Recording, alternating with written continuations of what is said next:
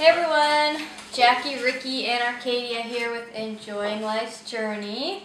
And welcome back to another fun Friday. If you watched last week's video, we talked about making our date jars. And so we are going to make them today, but we're actually going to make them a little different than I talked about.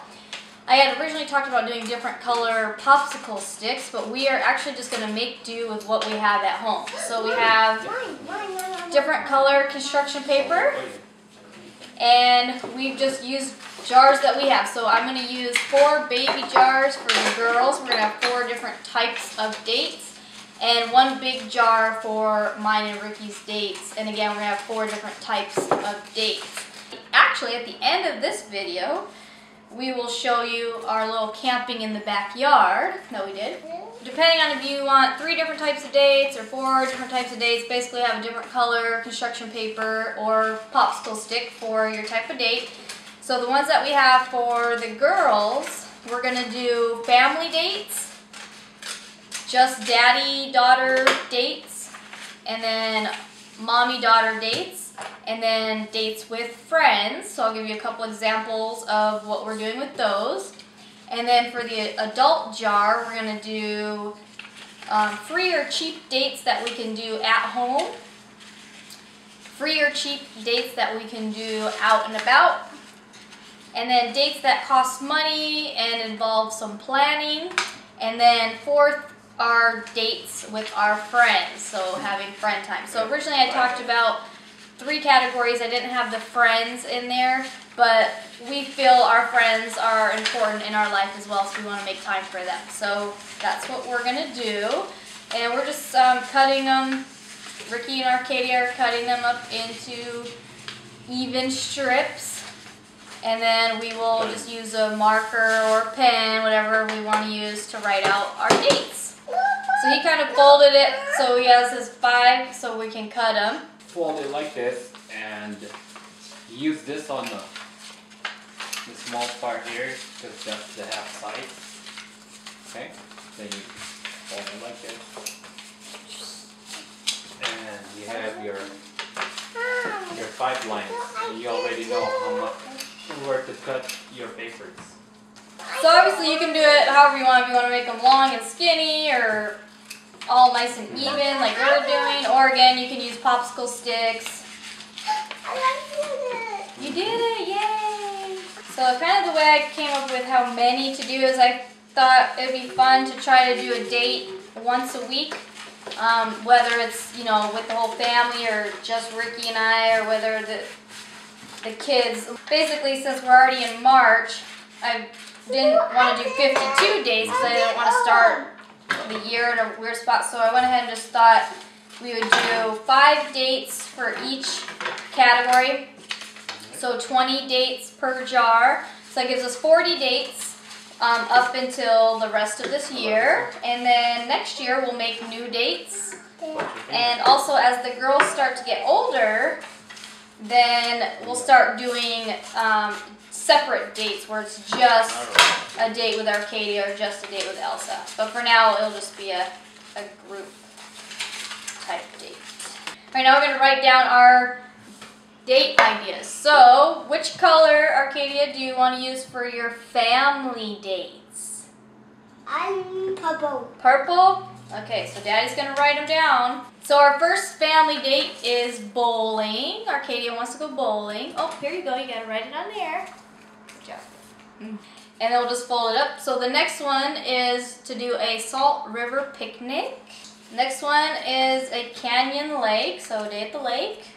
So this might give you guys ideas if you have lakes out by you or rivers out by you.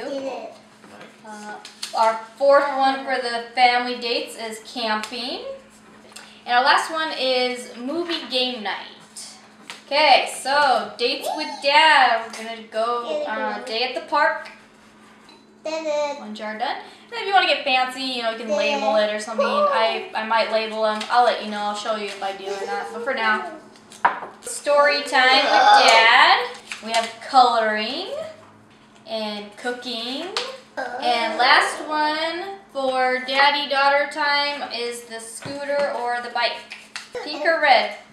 Uh, red. Red, okay. mommy daughter time. We also have a day at the park. And we have library time. And we have dress up. Be hair, makeup, nail polish, any kind of dress up she wants to do, they want to do. We have tea party and games, like board games. And the last one for the girls is going to be the friend dates. And the first one's going to be the zoo. And then we have swimming, because we have summer coming up. A scavenger hunt. A museum. So we can just pick which kind. Alright, last one is uh, some type of amusement park. For our at-home dates. Purple. Purple? Okay. Okay, so we had movie night, um, backyard picnic. And then we have cuddle time. Cuddle time. we have walk around the neighborhood. And we have dinner at home. So these are all dates that we can do at home. Next one we have uh, cheap or free dates that we can do around town. What color do we want to use? Orange? Okay. Alright, first one is motorcycle ride, um, hiking, and then miniature golf. So you can get creative with this.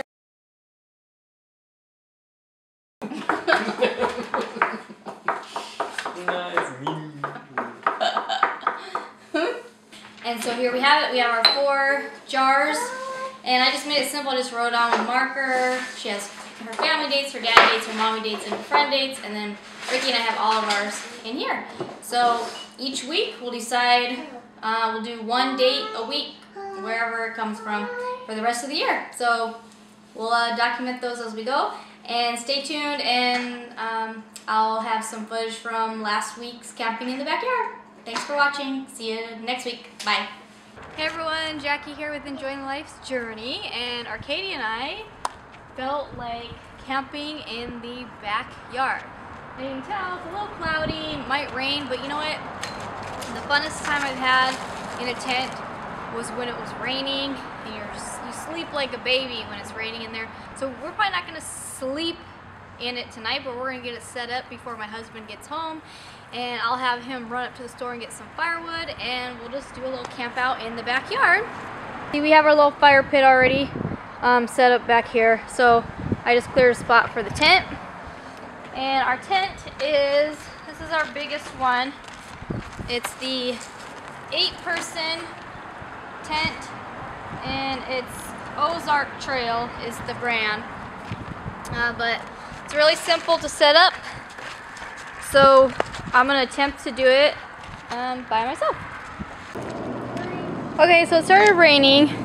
So I went ahead and put the, you know, the little cover over here so the rain doesn't get in the tent. But I am gonna need to wait for Ricky because I forgot how big this tent is. I totally forgot how big this tent is, but let me go inside before I get too rained on. But it's one of those like instant tents, so you don't have to put the um, those poles through so it makes it easier but I do need his help as far as height and the weight of it to get it up there. So um, it's 3:45 he gets off at 4:30 so I hope it doesn't rain too bad on the tent but hey whatever we're just going with it. Alright so my husband made it home and he helped me set it up. It's actually really simple with two people but it really can't be done with just one person. But um, you can see how big it is. Like I said, it's like an eight person tent. And um, we've only used this one other time when we went camping. Okay. So you can see in here, it's really big. You can stand up uh, and change in here. We got an air mattress we're to blow up. Yeah. So it gives you an idea uh, how big it is. This is a queen size mattress. There's still all this space around. There's still all that space over there. We have a hand pump, uh, but that takes forever. So we also have um, one of these little uh, electrical um, pumps uh, from Coleman 4D batteries is what it takes. Uh, so really quick and easy to pump it up and it also deflates it as well. So that's nice. So Arcadia wants me to get toys and blankets. We really like this one. So we're just gonna get some firewood. Like I said, it rained a little bit. You can kind of see where the tent was earlier. Uh, but it's not raining anymore, so one of the main reasons I like camping in the backyard, especially if you buy like new equipment, you always get really excited and you want to set it up and you want to see how it goes, or at least I do. So um, setting it up in the backyard is just a fun way to set things up, see how they work, and it also gives you an idea of like what you might need, but you're like right next to the house in case you're like, oh, okay, I didn't bring this. And you can kind of keep track, say, okay, when we camp, we know we're gonna need X, Y, and Z. You get my point. So, anyways, so we're just doing this for fun. Mia, Mia. You trying to talk, Elsa? You trying to talk? Oh, get you some blankies. So I love this little rocker chair. It's so portable. So we have Elsa out here in the tent with us. um, she's got her blankie. We're just waiting for my husband to get home with the firewood. Hey, Daddy made it to the party. To the camping party. Oh, oh, Oh. oh no! Well, it's daddy. All right, we got the fire going. Where's Dad. Can't really uh, see. And then there's our Arcadia. And the doggies wandering around. We just put the baby back inside in the crib to take a little nap. And we got some marshmallows in the bag.